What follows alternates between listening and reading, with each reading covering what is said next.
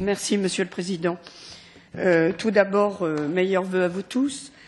Concernant le contrôle de la qualité des statistiques fournies par les États à la Commission, j'aurais souhaité savoir comment cette dernière pouvait évaluer la cohérence interne des données de chacun des pays, ainsi que les évolutions dans le temps, d'autant que les méthodologies nationales varient sensiblement. De même, lorsqu'une importante euh, rupture de série est constatée concernant un État et que la Commission demande dans ce rapport d'évaluation une révision des données, comment s'y prend-elle pour remédier aux ruptures de série?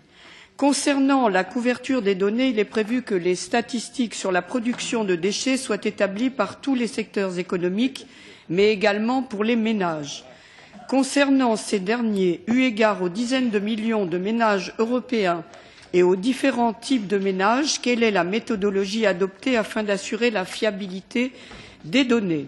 Enfin, le rapport de la Commission précise que les statistiques devraient également couvrir les déchets produits par les petites entreprises de moins de dix salariés, tout en reconnaissant que les sociétés de ce type devraient être autant que possible exemptées d'enquête. Je souhaiterais donc savoir ce qu'il en est concernant ces entreprises déjà écrasées par les formalités administratives. Je vous remercie pour vos réponses.